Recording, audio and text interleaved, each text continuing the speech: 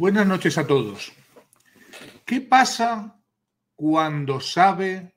que lo sabes? ¿Qué ocurre? Cuando ese ser, por denominarlo de alguna manera, al que ya vamos categorizando tantas y tantas noches, semanas, meses y años en este canal, se da cuenta que ha sido descubierto, que se conoce por parte de la víctima el plan, que se ha desvelado la agenda terrible y encubierta. ¿Qué pasa cuando la víctima, consciente ya del juego perverso, maquiavélico, de las herramientas utilizadas para manipularla, ¿qué pasa cuando al otro lado el psicópata, la psicópata, sabe que lo sabes. Esta noche vamos a explicar qué ocurre en esta situación tan frecuente, muy especialmente para aquellos más adelantados como sois los suscriptores y los miembros de este canal, que ya tenéis la información relevante, la información técnica, científica, avanzada, para tener el mapa del territorio, para saber qué os espera y sobre todo para saber qué es lo que tenéis que hacer en cada caso. Si quieres saber qué pasa cuando sabe que lo sabes, quédate porque no te van a defraudar como nunca en la capacidad de asombro al conocer cuál es la reacción que los psicópatas, narcisistas y otras malas hierbas desarrollan cuando son sorprendidos flagrantemente cuando se dan cuenta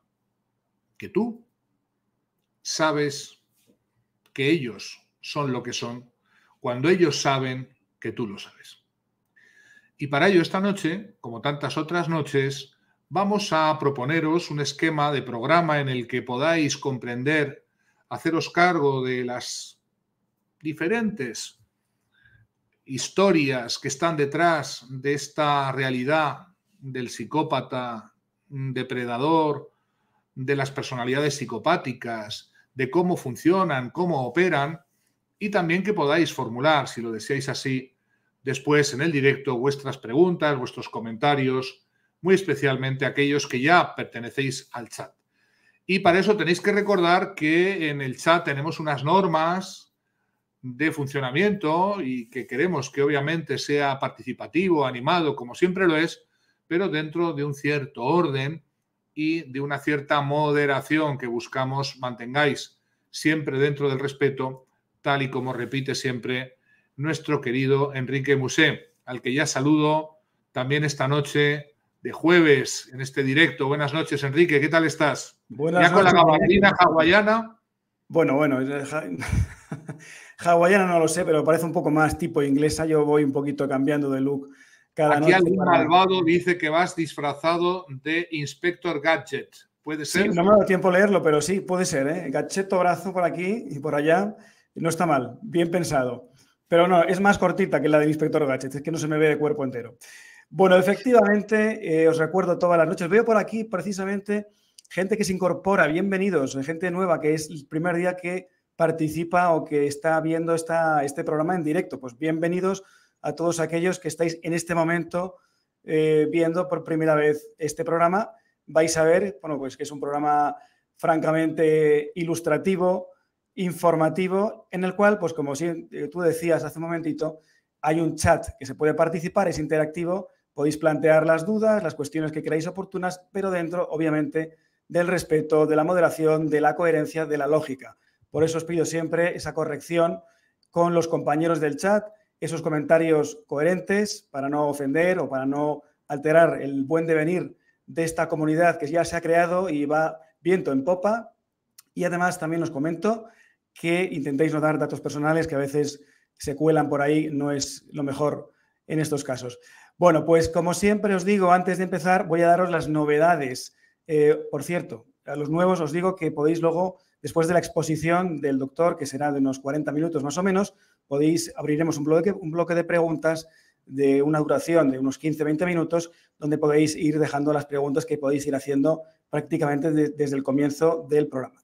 Y como decía, antes de comenzar el contenido, vamos a comentaros y recordaros que sé que estoy recibiendo infinidad de correos electrónicos, gracias a todos los que me escribís, los que estáis preguntando sobre las novedades de la Agenda 3030, el programa Agenda 3030, eh, que aquí tenéis, sabéis que es un programa que comienza en Argentina y que nos llevará a ciudades o países, mejor dicho, como México, Estados Unidos y España, Ciudad de México en febrero, Miami en mayo del 23 y finalizaremos en Valencia, España, en junio, si Dios quiere, del 23. Es una formación, 30, 30,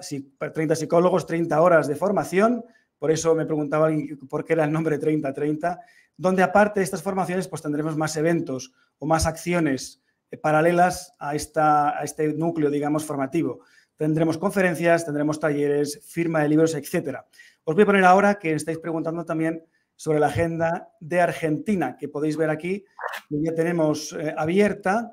Empezaremos del 8 al 11 de diciembre, cuatro jornadas con la formación para psicólogos. Tenéis en la página web, podéis ver eh, las instrucciones para poder comunicaros con nosotros. El caso, en el caso de la formación de psicólogos, podéis seguir, hay un formulario en el cual podéis dejar vuestros nombres, apellidos, etcétera. Y muy importante, que os va a pedir el sistema adjuntar el currículum, el currículum vitae. Es muy importante e imprescindible para que podáis acceder a la formación. Y luego podéis seguir las instrucciones que os marca el sistema. De igual manera, podéis hacerlo con la conferencia en Buenos Aires, que será el 14 de diciembre por la tarde entre las seis y media y las nueve y media hora de ahí de Argentina.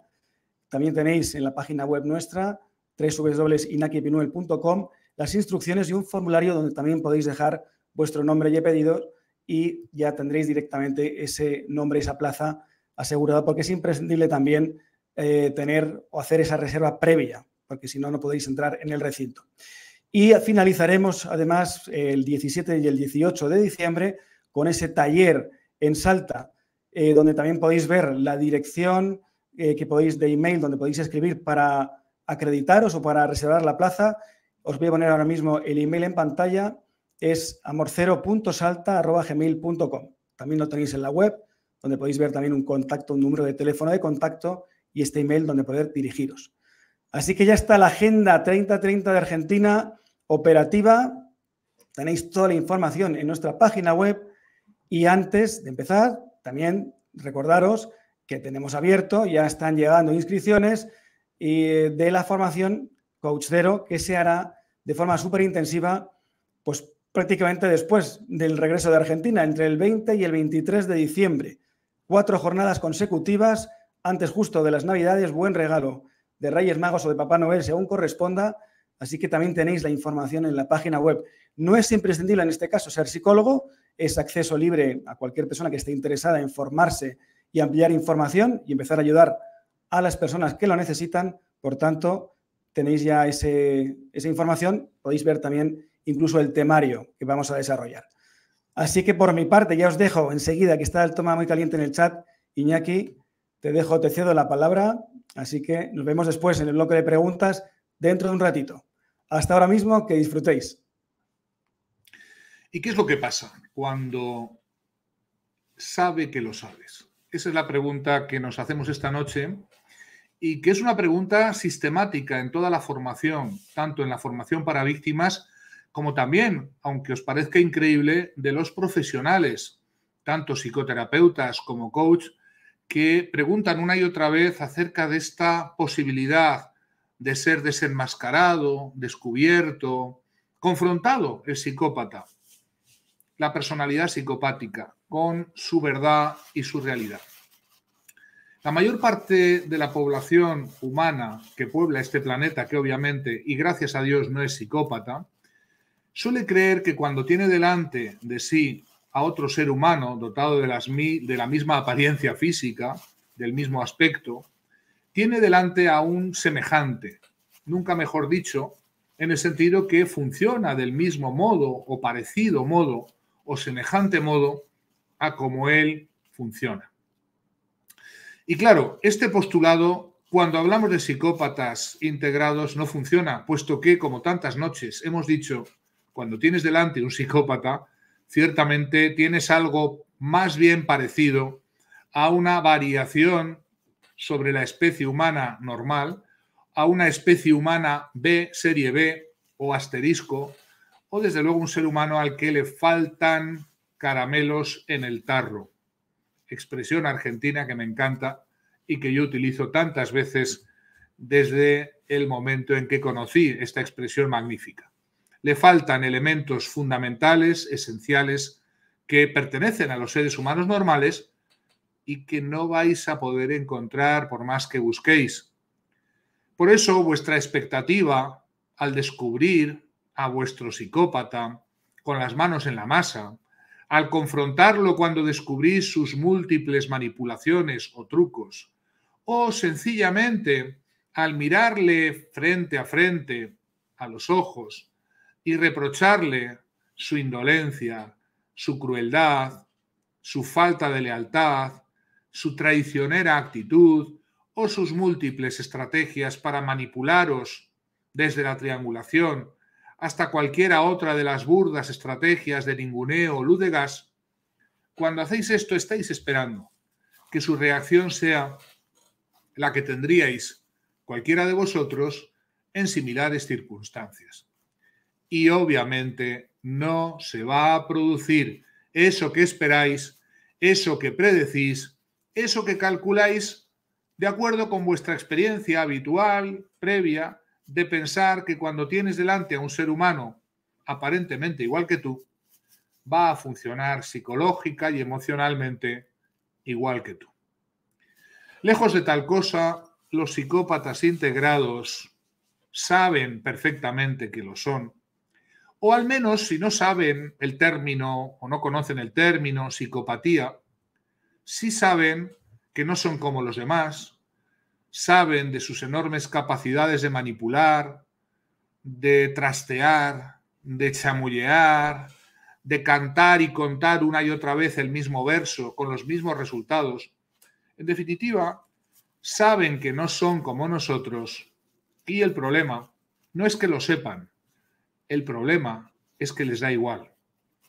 Y por tanto, en ese momento preciso, tan frecuentemente apuntado en los procesos de psicoterapia cero, momento crucial en el que cada uno de vosotros, cuando por fin disteis con la clave de bóveda para entender lo que ocurría, para comprender el origen de vuestros síntomas, cuando por fin pusiste nombre, denominación de origen de esa experiencia que no entendías, que no comprendías, que eras incapaz de razonar, de integrar, cuando por fin saliste de esa disonancia cognitiva que te hacía dudar si será una rosa, si será un clavel, si serán galgos o podencos, que te hacía permanecer en esa dubitación obsesiva constante acerca de la naturaleza del ser avieso que tenías delante, cuando por fin tienes la sensación de tener aprehendido, acorralado contra la pared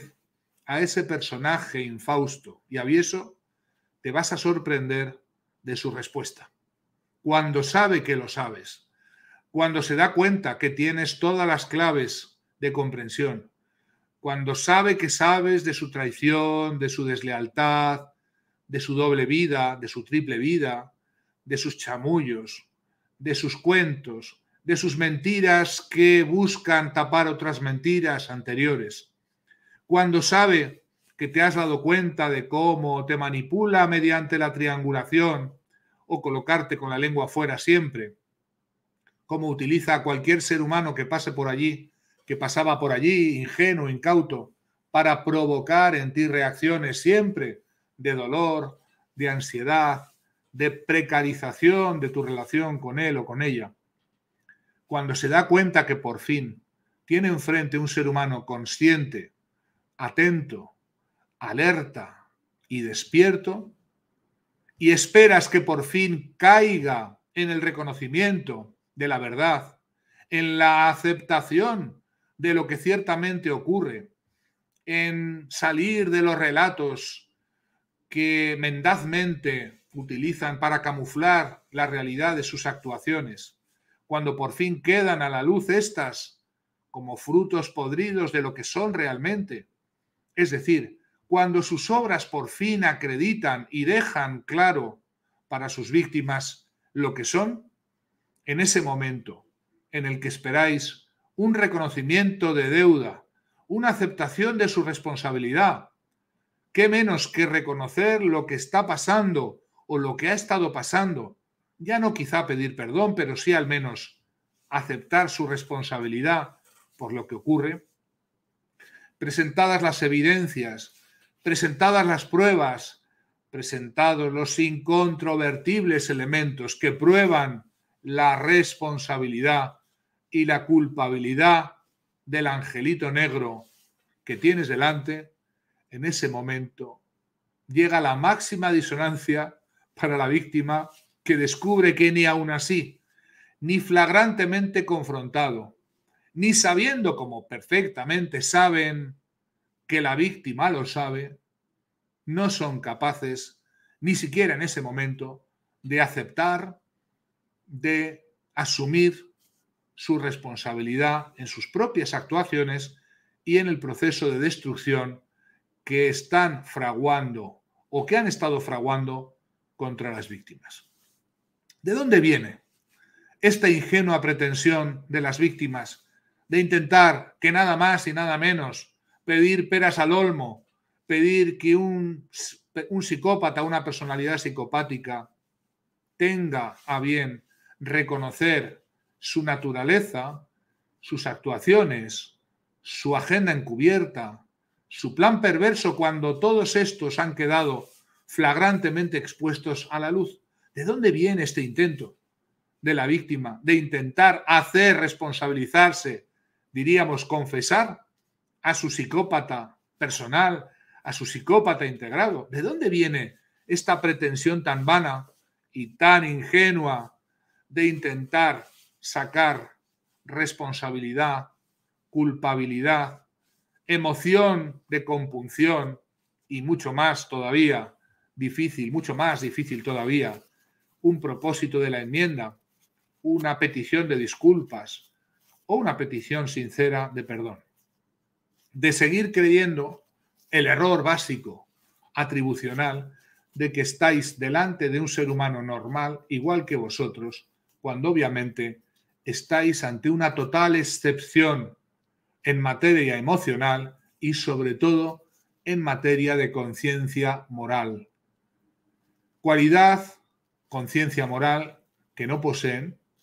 que acaso quedó desaparecida, si acaso algún día la tuvieron, pero ya no la tienen, y que ya, hasta donde llega nuestro conocimiento, no van a poder recuperar, puesto que no hay reversibilidad de ese paso al lado oscuro.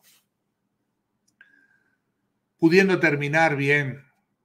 la historia, los psicópatas eligen terminarla mal. Pudiendo reconocer y por fin dejar, soltar toda esa intencionalidad perversa de seguir dañando y confundiendo a sus víctimas, no lo hacen. Y por tanto la víctima se frustra una y otra vez pretendiendo que si acaso ahora, al final de la relación, cuando ya sus obras oscuras, sus operaciones encubiertas, sus manipulaciones han quedado a la luz y que por fin ya pudiera parecer que de nada sirve seguir manteniendo una máscara de benevolencia, de respetabilidad, de ética, de buena intención, pudiera pensar la víctima que todo ha terminado y que por fin se van a poner las cartas sobre la mesa. Queridos miembros de este canal, suscriptores de este canal, amigos todos que estáis siguiendo esta emisión, nada de eso se produce. No hay tal cartas encima de la mesa boca arriba porque los psicópatas persisten siempre en mantener el juego hasta el final, puesto que no hay final en la capacidad de seguir disfrutando de vuestra confusión, de vuestro daño psicológico, del trauma de traición que han generado en vosotros, del vínculo perverso de apego al perpetrador que se mantiene y que si no tenéis cuidado se va a mantener a pesar de la ruptura o la desaparición de la relación, en definitiva, no hay punto final, nunca hay final de fiesta no hay más que un punto y seguido. La razón estriba en esa capacidad perversa que tiene el psicópata de disfrutar del daño que con crueldad inflige a su víctima. Disfrutar y alegrarse perversamente de ver la confusión, la disonancia cognitiva, las dudas, las idas y venidas, los chequeos, la duda acerca de sí misma que tiene la víctima una y otra vez y que le produce un inmenso regocijo, un grandísimo gozo personal. Cuando sabe que lo sabes, le sigue dando igual. Cuando sabe que lo sabes, sigue sin reconocer la verdad. Cuando sabe que lo sabes, inventa nuevas campañas mendaces y nuevas mentiras de Cristo Padre que tapan las anteriores mentiras de Cristo Padre que ya fueron proferidas por esa boca mentirosa, por esa lengua viperina que sabéis muy bien tiene una y otra vez esa sorprendente capacidad de convenceros a pesar de que sabéis perfectamente que lo que está diciendo es la enésima mentira. La mentira número n más 1 que, como siempre, en la vez n más 1 te sigue haciendo dudar, te sigue haciendo dubitar y te sigue haciendo perversamente mantenerte en la disonancia, en la confusión y por tanto aumenta el riesgo de que tus pasos vuelvan sobre sí mismos y puedas darle nuevas oportunidades, nuevas opciones para seguir riéndose a carcajada limpia por los siglos de los siglos de tu ingenuidad, de tu estupidez, de tu bondad,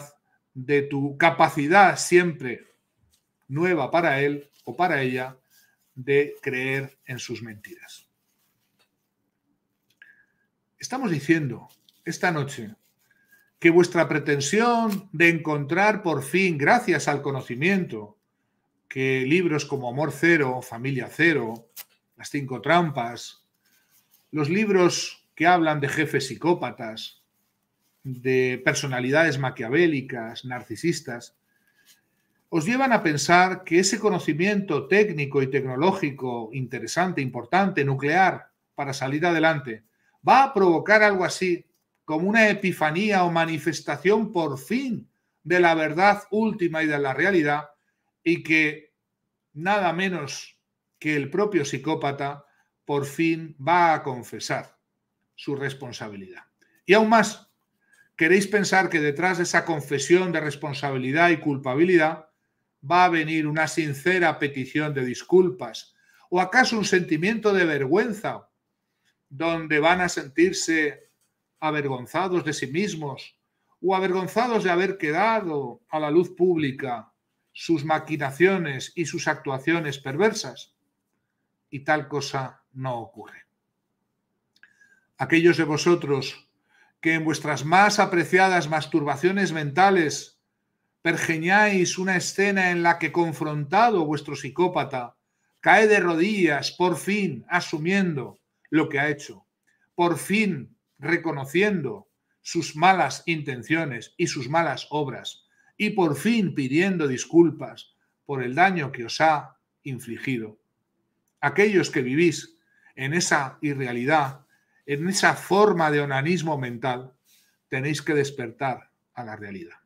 Nada de esto ocurre nunca. Jamás ocurre nada de lo que estáis imaginando o de lo que os estáis preparando mentalmente como una pequeña fiesta que quiere compensar tantos años de sufrimiento, tantas mentiras, tanta traición, tanta deslealtad, tantos años o vidas perdidas en favor de estos personajes. Todo esto que seguís esperando no va a ocurrir jamás. Y por tanto, aquellos que esperan para cortar con una relación tóxica, psicopática, con un amor cero, con relaciones con psicópatas de todo tipo, con los que tenéis relaciones de negocios, acaso también familiares, los que estáis esperando a confirmar que sea un psicópata mediante la propia confesión de parte, estáis pensando que además de malos, los psicópatas son estúpidos o tontos. Tal cosa no es la realidad del psicópata, que sí, puede ser muy malvado, pero no suele ser tan estúpido como para regalaros esa póstuma victoria y para no seguir disfrutando enormemente y riéndose a mandíbula batiente de vuestra ingenuidad bautismal, la que os sigue llevando a poner en el tejado del otro, del psicópata o la psicópata, el reconocimiento de realidad, que ya un análisis detenido de sus obras y actuaciones debiera haberos convencido hace tiempo de su naturaleza y sobre todo, no tanto para realizar un diagnóstico que no os corresponde. ¿Qué más da si es psicópata, narcisista o medio pensionista si lo importante es el daño que esta relación me está haciendo? La repetición de los mismos trucos, las mismas estrategias y sobre todo los mismos efectos perversos sobre la autoestima, la resistencia y la resiliencia de la víctima. ¿Qué más da lo que sea o cuánto o qué grado tenga el que está al otro lado si sus actuaciones perversas, ya chequeadas, ya mostradas y demostradas hasta la extenuación una y otra vez ante los ojos de la víctima, están destruyendo a esta? La ingenuidad de la víctima. Y esa idea errónea de que se encuentra ante un semejante, alguien igual que él o que ella, condena a la víctima a esta ingenua escena que siempre es mental y nunca va a ser real, de pensar que cuando se le confronte por fin, sabiendo que lo sabes, el psicópata caerá rendido y confesará por fin su plan perverso, confesará su agenda encubierta, confesará que no hubo nada desde el principio, sino un avieso plan, unos objetivos nunca confesados ni menos confesables, y por tanto por fin podréis tener una confirmación por parte de la otra parte. Este error que yo he constatado tantas veces en años de práctica terapéutica con víctimas del amor cero, de relaciones tóxicas, de relaciones laborales a manos de psicópatas integrados que pululan aquí y allí, y a los que las víctimas una y otra vez dan nuevas oportunidades debido a esta estrategia errónea de querer confirmar a través del propio diagnóstico, más bien autodiagnóstico, psicopático de su propia psicopatía, este error es un error que se paga muy caro. Explica el mantenimiento durante mucho tiempo que ya no debería dársele al psicópata de relaciones que están destruyendo, sin solución de continuidad, la autoestima, la resistencia, la salud y hasta la vida de la víctima de este error. Si estás escuchando esta emisión, tienes que darte cuenta que no puedes esperar a esa confirmación y no puedes ingenuamente creer que en el momento en que confrontes por fin al psicópata y éste sepa que tú lo sabes, vas a poder de ese modo confirmar y darte a ti mismo el definitivo, último permiso para romper esa relación y sobre todo para mantener el contacto cero por siempre y para siempre con ese personaje. No puedes esperar a esa escena, a esa situación, porque sencilla y llanamente nunca llegará. En este intento de comprender, entender, captar, asimilar, hacerse cargo de una experiencia tan inconmensurable como el paso del huracán de fuerza 5, la víctima cae en todos esos patrones repetitivos de confusión, de duda, de disonancia, que el psicópata le hacen tanto disfrutar y que le permiten una y otra vez aumentar la Schadenfreude, la alegría, el goce secreto y profundo por ese daño en la confusión de la víctima, en la duda y en la paralización ante decisiones que debieran tomarse o que debieran haber sido tomadas hace ya mucho tiempo. No olvides que todas estas estrategias que recomendamos este, en este canal desde hace tiempo están basadas en la experiencia de miles y miles de casos de víctimas a las que hemos atendido, de personas que nos confiesan una y otra vez que todo lo que explicamos en el canal, todo lo que describimos en nuestros libros, pertenece prácticamente a su misma experiencia, a tal extremo que creen que hemos estado viéndoles por un agujerito a la hora de explicar y describir todo lo que no es sino el fruto de años y años de experiencia clínica acumulada. No te olvides, si quieres aumentar tu conocimiento acerca de estas estrategias psicopáticas, narcisistas y de otras malas hierbas de todo tipo, dar el like a esto que estamos haciendo para que el propio algoritmo de YouTube recomiende a otras víctimas, a otras personas que ingenuamente siguen cometiendo estos mismos errores y por tanto puedan verse beneficiados de este conocimiento. Y tú si eres nuevo al canal, si no estás aún suscrito, hazlo para que puedas también beneficiarte de nuestras secciones Psicología para Dormir, de los micro documentales que estrenamos casi cada día, de los shorts donde emitimos una serie de consejos prácticos para mantener prietas las filas y las lanzas levantadas frente a esta horda psicopática que nos invade. Y si quieres hacer algo más todavía por contribuir a la extensión de este conocimiento, no olvides unirte como miembro al canal y de ese modo también participar en nuestros más íntimos encuentros en la tercera fase, que obviamente son más íntimos por el número más reducido con el que compartimos, pues en un ambiente más distendido, preguntas, comentarios, todo aquello que nuestra comunidad cada vez mayor de miembros quiera hacer los segundos y cuartos martes de cada mes a las 11 de la noche hora española. Todas estas son formas de contribuir y de entender que en esta batalla cósmica en la que nos encontramos,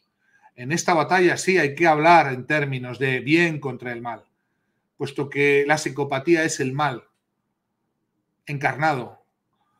el disfrute, el mal empecinado, el disfrute a base de dañar y hacer el mal a otros, la ausencia de conciencia moral y de conciencia también de el efecto que puede tener mantener esa actitud en relación a la continuidad también de nuestra especie en este planeta. Estos individuos aviesos, perversos, de los que cada vez sabemos más y de los que cada vez tienen obviamente más dificultades para mantenerse en sus atalayas, puesto que sus obras, como todas las obras de la oscuridad, van quedando expuestas a medida que la luz se extiende y que cada uno de vosotros se convierte en portador de esa pequeña luz que ilumina y que le lleva a aprender en otras pequeñas luces y se va extendiendo el foco de luz que estamos cada vez más arrojando sobre esas actuaciones que hasta hace muy poquito tiempo eran ocultas, eran encubiertas y ocupaban la totalidad prácticamente del relato, dejando a las víctimas desarboladas, completamente desabastecidas de verdad, de realidad y de consuelo psicológico. Este es el efecto que nuestro trabajo de investigación está teniendo y nuestro trabajo de divulgación, gracias a profesionales del instituto, como Enrique Musé, como Israel Lorca, como tantos que contribuyen con un esfuerzo oculto detrás de las bambalinas, con un esfuerzo diario para proporcionaros todos estos datos, este conocimiento, estos vídeos que os permitan ayudaros a volver a poner la brújula, la aguja en hora, para poder juramentaros, sí, de elegiros por fin a vosotros mismos, por delante de todo y de todos, cueste lo que cueste, caiga quien caiga, especialmente caiga quien caiga en materia psicopática. Y por tanto, todo esto que estamos realizando realmente es un cambio, es una labor de cambio, de agentes de cambio que son cada vez más y que inicialmente parecía que quedaban destruidos, anulados, desarbolados, pero que la experiencia nos dice que aquel o aquellos que habéis pasado por esta experiencia y habéis sobrevivido a ella, os convertís automáticamente en agentes sociales de cambio. Y sobre todo y ante todo, no queréis que nadie vuelva a pasar por esto. Y queréis, en la medida de vuestras posibilidades, formaros, capacitaros para ayudar a otras víctimas, a otras personas, a que nunca más nadie pase por aquello que vosotros habéis pasado y que casi os ha costado la vida o la salud o los mejores años de vuestra vida. De ahí que con gran satisfacción puedo deciros esta noche que observamos un crecimiento formidable de este canal y sobre todo de la sensibilidad de una comunidad de miembros y de suscriptores y de participantes en este chat, por ejemplo, como esta noche estáis haciendo, que sois personas de luz, personas que estáis cada vez más involucrados, embarcados en esa lucha dentro de la batalla cósmica por convertir el problema de la psicopatía, el problema de la victimización, del trauma cero, en un problema que se quede en un problema del pasado. Y que podamos amanecer a esta nueva humanidad que está casi ya apareciendo, que estamos tocando con la punta de los dedos, a pesar de que ciertamente, queridos, nos quedan muchas tribulaciones que pasar aún y muchas de las maquinaciones de estos personajes ávidos de poder, de manipular a la sociedad y de, obviamente, eliminar toda luz, toda realidad, manipulando, distorsionando, chamulleando a toda la población planetaria, nos queda, como digo, todavía mucho, pero recordad que la victoria es certera, absolutamente segura, y que esa es la fuente de la esperanza de todos aquellos que militamos a favor de la luz. Os he dicho muchas veces que nada tengo contra los psicópatas, lo mismo que nada tengo contra la lepra, la tiña, las bacterias, los virus, las ratas, los piojos, las chinches. Son animalicos del Señor que están y pululan por el planeta, pero que yo y el equipo que yo dirijo y coordino hemos tomado la decisión, sí, una decisión desde nuestro libre albedrío, de militar en favor de todas aquellas que se convierten en sus víctimas, de todas aquellas personas que ingenuamente siguen pensando que todo el mundo es bueno y caen en las redes de estos aviesos personajes, sobre todo teniendo una ceguera, una confusión o una disonancia producida por estos seres sin conciencia, pero con plena conciencia de lo que son y de sus grandes capacidades y ventajas competitivas frente al individuo ordinario, frente a la persona normal que puebla este planeta. Os animo, por tanto, a que sigáis siendo estos agentes de cambio y que sigáis militando cada vez más y animéis a otros a mantener firme la esperanza y firme la vista en la victoria final que está ciertamente muy cercana. Recordad que siempre el momento más oscuro es el momento, el instante previo al amanecer y que quizás ese momento más oscuro que estamos viviendo es justamente el antecedente del alba, de esos albores que estamos viendo ya, que estamos vislumbrando precisamente por lo oscuro de la noche que estamos viviendo. Me imagino que como tantas noches, este tema no es un tema pacífico y os ha llevado a muchos comentarios que obviamente no he podido leer en tiempo real, pero que sí ha podido leer y seguramente seleccionar nuestro querido Super Enrique Museo. Si eres capaz de leerlos, ya me quito el sombrero que no tengo, pero bueno, me lo pongo y me lo quito para demostrar mi, mi máximo reconocimiento. Efectivamente, yo también lo intento, aunque a veces se me hace muy complicado leer tantos mensajes, tantos comentarios de tantas personas que interactuáis en el chat, que bueno, he desarrollado también una nueva faceta mía, una nueva habilidad, que es la de leer y poder responder a veces algunos mensajes. Bueno, efectivamente, pues sí que ha habido comentarios, más que preguntas, que también ha habido, por supuesto, ha habido también muchos comentarios y, bueno, pues sobre la materia que estabas hoy desarrollando.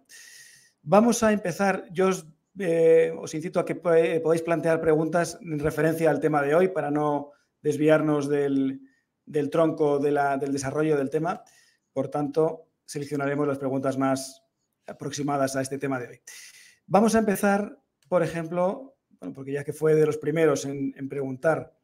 Juan Francisco Rodríguez, hoy te ha tocado el primero. Juan Francisco, gracias por tu superchat. Dice, para un psicópata, ¿es la responsabilidad una humillación imperdonable como con los narcisistas? ¿O es acaso un mito de ciencia ficción, dada su naturaleza completamente parasitaria y aviesa? Es mucho más, Juan Francisco. La responsabilidad no es una humillación imperdonable, es un imposible, es un contradios, como dirían los navarros aquí en España.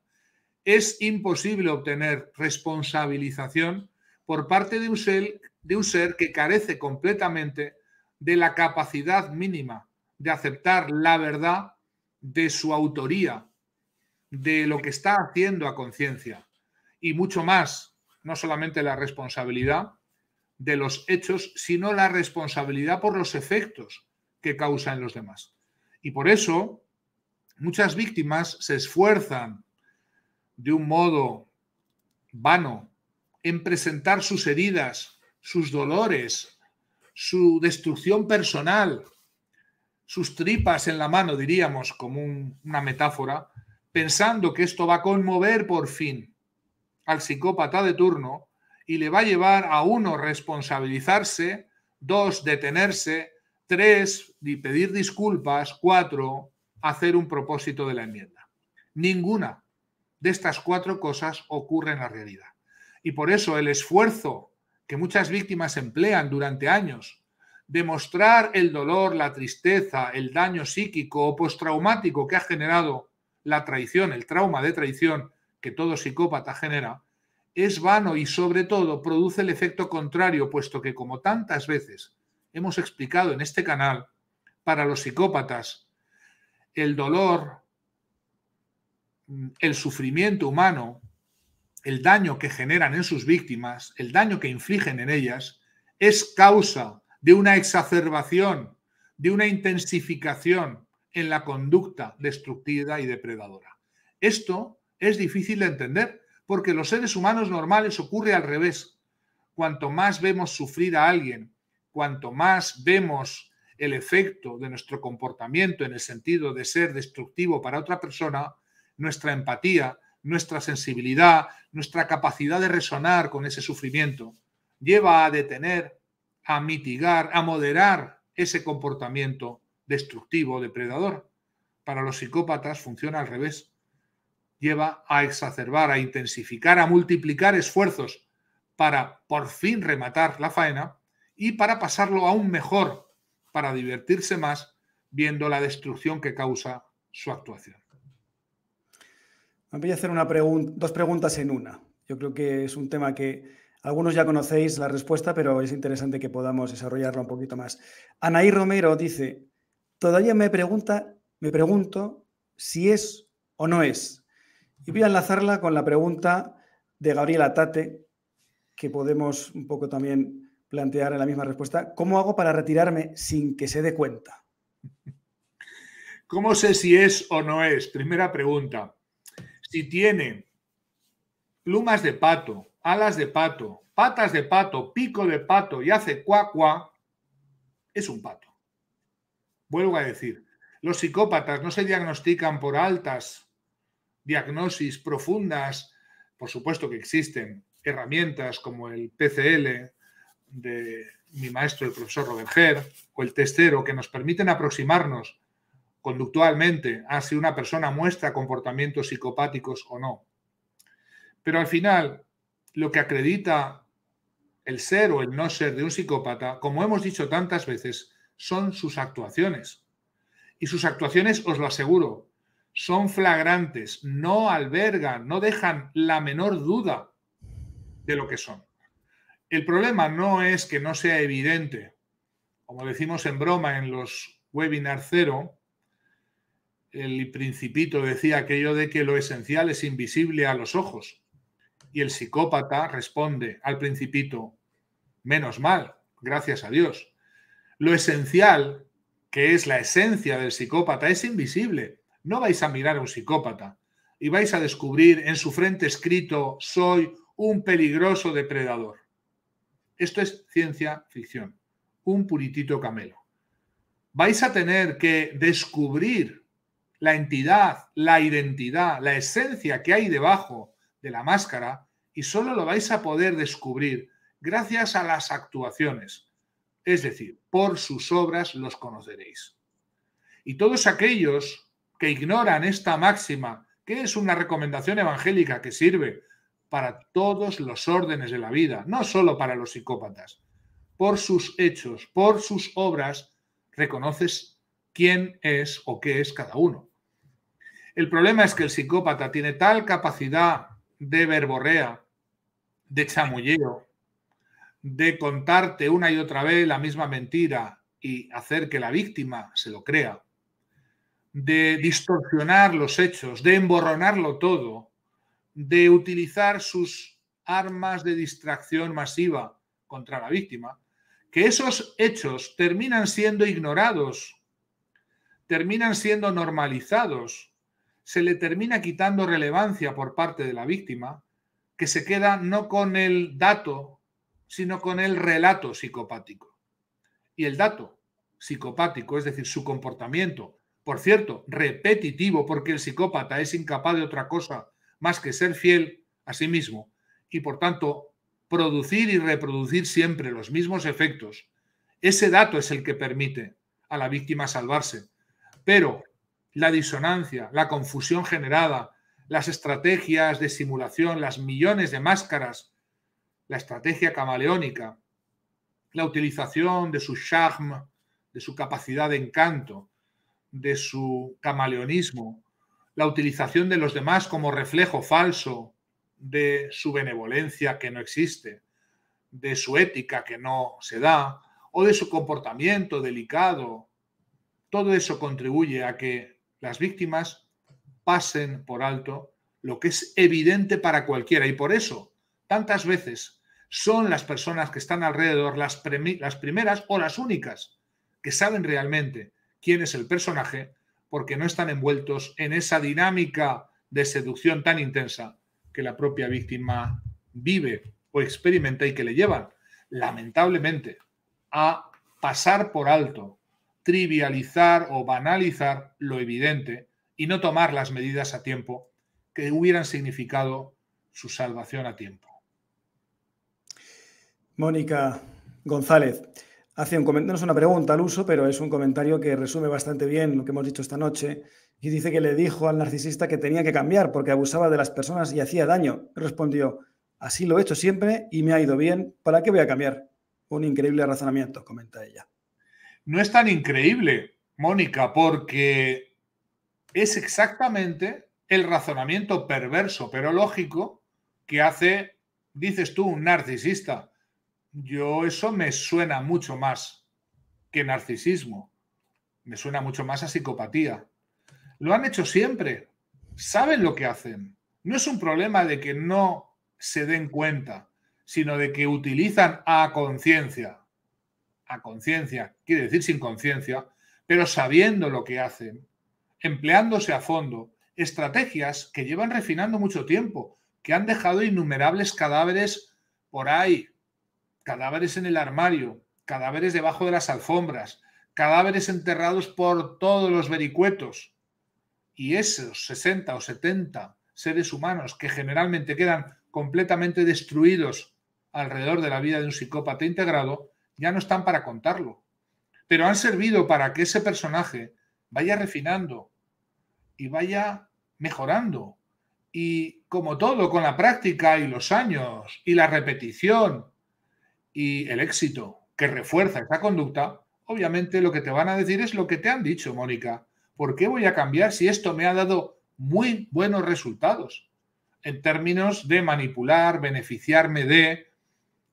calcular un beneficio personal y oportunista a costa de desplumar, de defraudar, de traicionar a otras personas, incluidas, por supuesto, a sus propias parejas,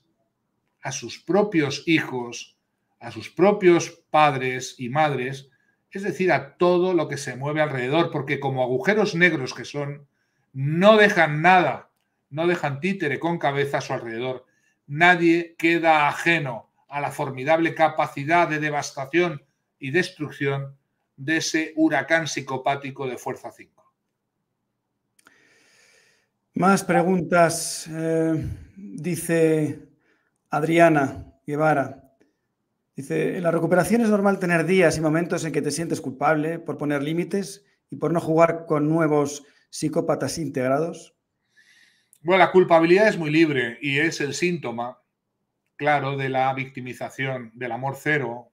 de los procesos de trauma cero. La culpabilidad y su conectada emoción, que es la vergüenza, la vergüenza tóxica, que es nada más y nada menos que permitiros a vosotros mismos veros con los ojos del psicópata, algo que debería ser inadmisible, pero que ocurre habitualmente porque la víctima es llevada a pensar y a creer en la representación que la fuerza de seducción y la fuerza hipnótica de los psicópatas proyectan y que les llevan a las víctimas a aceptar no solo los relatos mendaces, no solo las mentiras de Cristo Padre, no solo todos esos versos, esos chamullos, sino también a que las víctimas se vean a sí mismas como los psicópatas les dicen una y otra vez, como víctimas de sí mismas. Es decir, como no víctimas de una actuación perversa de otro ser humano avieso con una agenda oculta y encubierta, sino como víctima de sí misma, de su estupidez, de algo que merece, de algo que no puede ser sino lo que se le está haciendo. Algo terrible que parece estupidez, pero no es más que el resultado normal y habitual de cómo funciona la mente y cómo la psicología del trauma lleva a que la mente funcione de ese modo distorsionado, culposo y avergonzado de sí mismo. Pues precisamente, eh, también hablando de culpa, nos hace la pregunta Isabel Pérez, gracias por el superchat Isabel, dice que hace cinco años un exicópata le pegó un virus que sigue dándole problemas y no sabe cómo llevar la culpa que genera todo esto, que le trauma mucho. Bueno, es muy importante, Isabel, perdonarse por el daño que la víctima se ha dejado hacer o se ha permitido hacer. No solo los daños psicológicos, sino que, como se ve aquí, también hay daños físicos, enfermedades, ruinas financieras irreversibles, pérdida de los hijos a manos de los procesos de abducción lo que llamamos el síndrome de alienación parental psicopático, por el cual el psicópata de turno, la psicópata de turno, roba no el alma de la víctima, sino el alma de los hijos en común,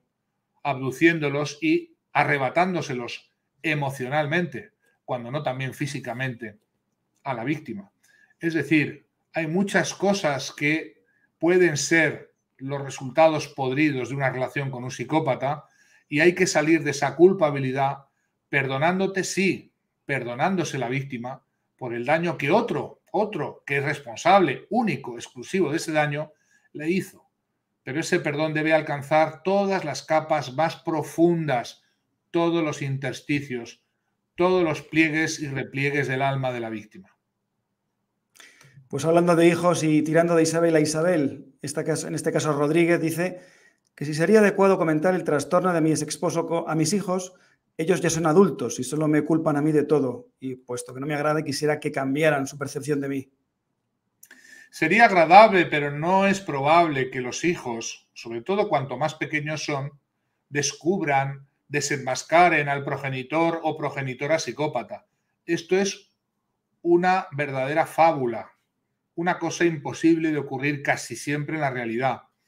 Y el intento del progenitor no psicópata de demostrar a los hijos en común que el otro o la otra es un psicópata suele tener muy malos resultados. Yo recomiendo siempre que no perdáis el tiempo en eso, que generalmente es una tarea perdida o un objetivo perdido, y os centréis en convertiros en lo que van a necesitar esos hijos más tarde o más temprano, más bien más temprano, que es que el progenitor no psicopático funcione como una base segura de apego.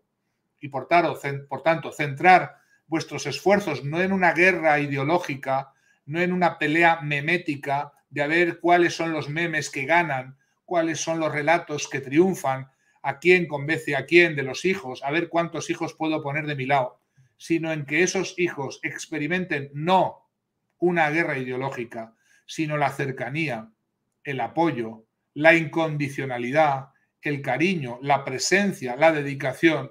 del progenitor que no es un psicópata. Eso es lo que va a ayudar a tus hijos el día de mañana. no en que les digas que papá o mamá es o era una psicópata un psicópata, cosa que los hijos no van a poder generalmente aceptar ni asimilar hasta que pase mucho tiempo o ya las obras abrumadoramente del psicópata progenitor hablen o canten por sí solas un diagnóstico ya irreversible, imposible de ocultar por más tiempo. Dedícate a ser una base segura para tus hijos,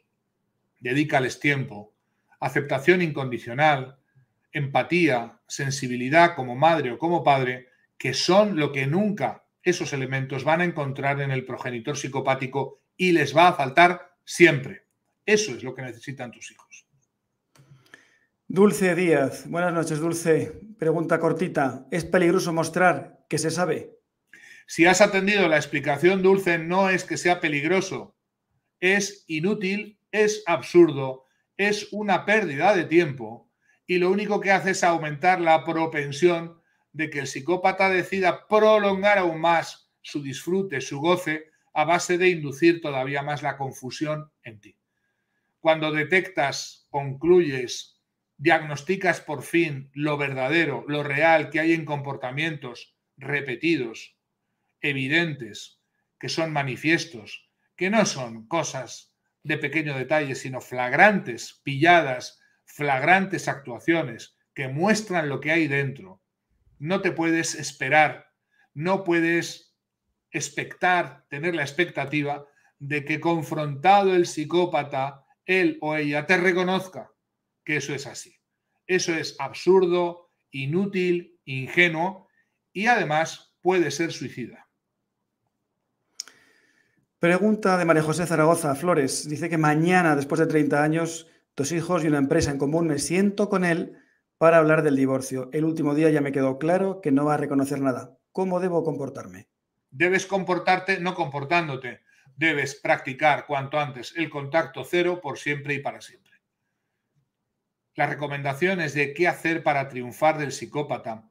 Lamentablemente en algunos foros y en algunas redes sociales hay quienes practican estas recomendaciones, cómo puedes triunfar, cómo darle en la nariz, cómo disfrutar de un corte, de una estrategia esta o aquella, tratándose de psicópatas. Todo esto son recomendaciones vanas, como aquella que plantea y que ya he cuestionado muchas veces, que el contacto cero es un modo de devolvérsela al psicópata, un modo de que él o ella experimente la misma angustia, la misma ansiedad, la misma desazón, la misma sensación de abandono que ha experimentado la víctima. Cosas que son absolutamente devaneos, masturbaciones animadas de ayer y hoy que las víctimas se hacen y que recomiendan algunos completamente insensatos que llevan a las víctimas al desastre, puesto que intentando verificar ese efecto de ese contacto cero, intentando ver hasta qué punto les ha o no afectado esa estrategia, vuelven a contactar, vuelven a curiosear, vuelven a mirar por los intersticios, por las rendijas y violan el contacto cero poniéndose en la perspectiva de volver a ser una y otra vez reenganchados por los siempre especialistas en el eterno retorno que son los psicópatas integrados. Bueno, pues antes de acabar y de volver a comentaros la agenda argentina antes de terminar el programa, hay un mensaje, mensajes graciosos que nos llegan o, comentarios divertidos. Luisra de G97 decía aquí que Jedi always win. En Star Wars se explica muy bien todo esto en cada película de la saga. Y como tú me decías antes, que alguien había dicho que el inspector Gatchet, por aquí dicen que vienes hoy vestido eh, parecido a Keanu Reeves en Constantine, que eres el azote de los demonios. No está mal, ¿eh? Mejor que el tuyo que el mío, que el inspector Esto yo creo que es un golpe muy bajo por tu parte, Enrique, pero te lo tengo en cuenta para la próxima vez. Es mejor el tuyo que el mío, ¿eh? que el Gachet este era un poco torpón, así que no, no, no me identifico mucho con él. Pero bueno, es pues que los Jedis siempre ganan y que la victoria siempre, ya desde el principio del partido, está detectada, determinada, irreversible a favor del equipo que juega a favor de la luz.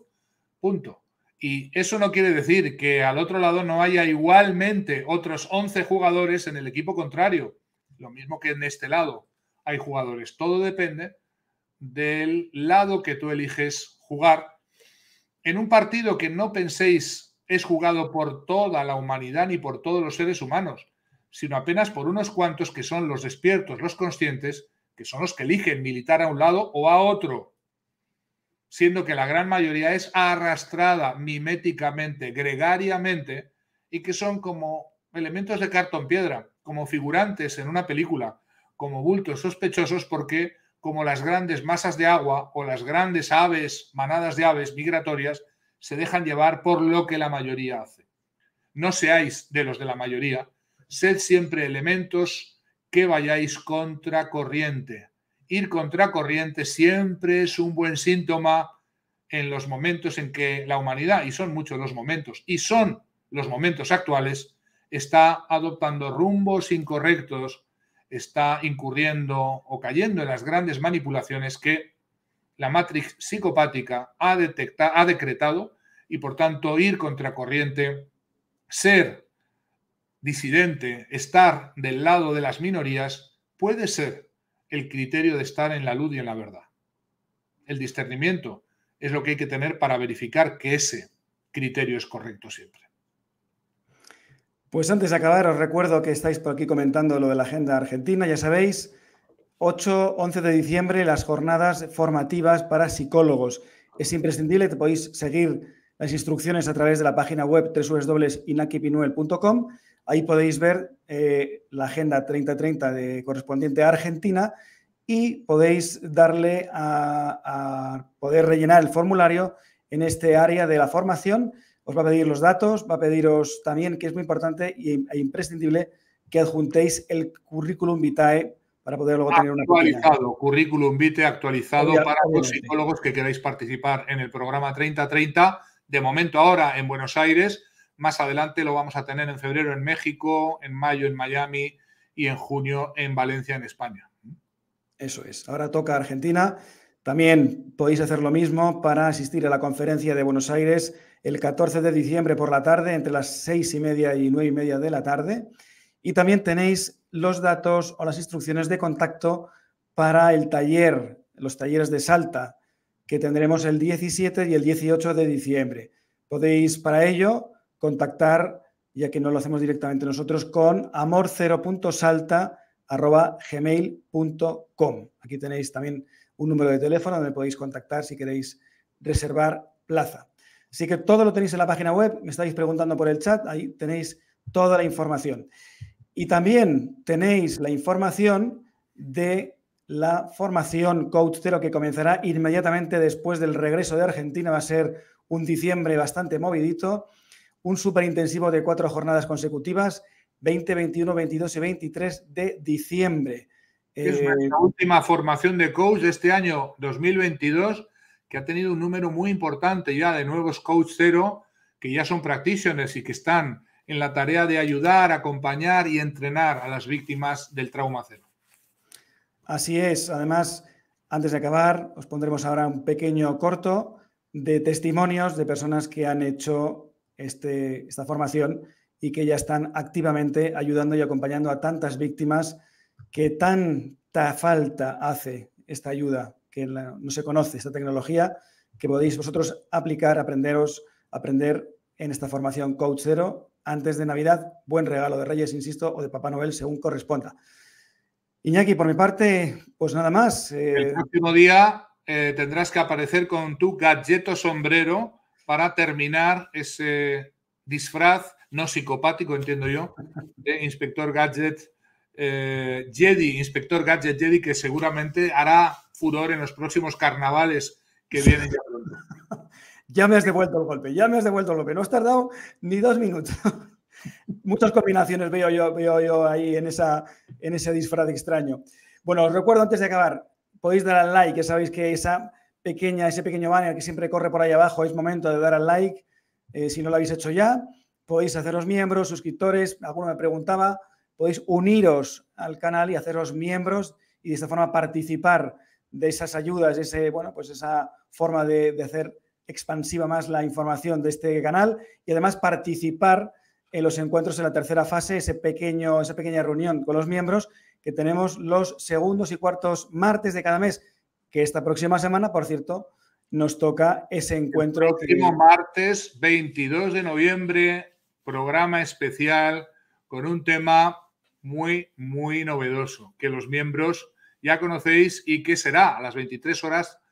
Common European Time, el tiempo de Europa, el tiempo de España y horario equivalente para nuestros hermanos de los países hermanos de América de habla española. También recordaros que dentro de poco más de 20 minutos comienza nuestra psicología para dormir, episodio 37 creo que es. ¿Me equivoco, Enrique? Ya me he perdido, la verdad. hemos perdido, que es, por supuesto, un estreno y que es esa sección que todas las noches eh, estrenamos para que podáis manteneros, no despiertos, sino vivos, atentos, conscientes en esas determinaciones que os lleven a una mejor vida y a una mejor versión de vosotros mismos, que es de lo que se trata en esa psicología, en esa sección de psicología para dormir, que para nada es una psicología aburrida, pero sí es una psicología que relaja, que centra, que te vuelve más consciente y que te permite ciertamente después dormir como un angelito. Así es que os emplazo a esa sección Psicología para Dormir que se estrena en unos minutos y ya sin más os emplazamos al próximo domingo, próximo directo, 22 horas, con un tema interesantísimo que también ya está preparando nuestro super colaborador Israel Lorca y que será colgado en el panel en la comunidad para que podáis tener noticia a través de la campana y de la notificación del canal. Nada más, despediros, recordad que hay vida más allá de un psicópata, y no seáis estúpidos, no seáis ingenuos, no esperéis a que vuestro psicópata o vuestra psicópata os confirme lo que tenéis evidentemente ya claro y no esperéis, por tanto, a tomar las decisiones que tenéis que tomar en base a vuestra legítima necesidad de supervivencia. Hacedlo así y tendréis una vida larga, sana y llena de felicidad y con esa versión mejor de vosotros mismos a la vista. Buenas noches, hasta pronto, hasta este domingo, que te paséis un buen fin de semana. Os dejo con el canal y también con un pequeño corto que vamos a, con el que vamos a terminar. Hasta pronto.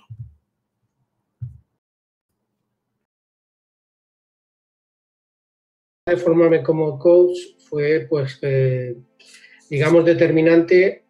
que creo que les ocurre a todas las personas por las que, son víctimas, bien de familiar cero o bien de relaciones psicopáticas con psicópatas o narcisistas, que al final pues eh, entras, digamos, en otro plano y tienes un gran interés en, la divulgación y en poder ayudar a otras personas relativa a estos temas. Entonces, digamos que eso es lo, más determinante, poder, eh, digamos, poner la guinda a, al proceso de, entrar en una nueva realidad y el poder ayudar a otras personas. Eso para mí es lo determinante. Tienes la necesidad de, ayudar, de hacer ver a los demás eh, pues, lo que está ocurriendo, que muchas veces eh, llegamos a creer que somos culpables, que nos merecemos lo que nos ocurre y, sobre todo hacer hincapié pues en lo que el doctor nos, nos indica en los cursos, que nadie eh, merece algo así, nadie merece ser víctima, nadie está buscando el maltrato psicológico, físico. Eh, gracias a Dios ha sido muy, muy útil, muy útil, porque aunque yo había visto muchísimos vídeos y bueno, prácticamente todos los libros, bueno, pero no es lo mismo hacer el curso que te da unas pautas, que bueno, eso lo iremos hablando más adelante, pero muy claras ¿eh? muy concisas, muy concretas, que te ayudan a hacer ese acompañamiento para ayudarlas a esas personas que, al final son víctimas a despertar, a darse cuenta que, no se merecen el haber pasado por eso, que no son culpables, que son buenas personas, que se merecen cosas buenas. Y bueno, mm, solo gratitud, doctor, yo qué le voy a decir. Soy Bárbara Breva y coincido con mis compañeros eh, creo que la mayoría hemos pasado por estas situaciones de abuso y creo que sobre todo hay muchísima desinformación a nivel social de lo que este tipo de, experiencias pueden llegar a generar en la mente y en la vida de las personas. estamos hartos de ver casos de maltrato con consecuencias nefastas en la sociedad, cuando no crímenes, pero hasta llegar a eso hay muchas fases. Entonces, eh, creo que es fundamental que este tipo de temas, pues la gente, la sociedad vaya tomando conciencia de, cómo se dan los casos de abuso, cómo llega la víctima a, sentirse y sobre todo para apoyar a las víctimas porque eh, muchas veces la víctima ni siquiera es consciente de lo que le está pasando, eh, vive absolutamente hipnotizada por, por embaucada en, su cabeza y en sus emociones que son inabordables y me parece que hay que dar un cauce para que estas personas puedan ver la luz y saber que hay otra vida y que no hace falta vivir con tanto sufrimiento y que de todo esto se puede salir. Pero para empezar hay que mm, generar una toma de conciencia en la sociedad de este tipo de, casuísticas. Y, bueno, pues cuando me ofrecí la oportunidad de ser coach pues la verdad que me, me gustó la idea, ¿no? Porque bueno, al final el poder acompañar a alguien que ha estado como tú que, al final eh, tú lo puedes entender, tú le puedes dar tu experiencia, tú le puedes guiar, es una cosa bonita que puedes devolver a alguien eh, de lo que te han dado, ¿no? Y muchas veces, eh, yo siempre digo que al final a mí la terapia, los compañeros, toda la gente que me ayudó a salir del agujero, me dieron la vida, ¿no? Entonces ahora toca devolver un poco eso a gente que de verdad lo necesita, ¿no? Necesita que estés a su lado,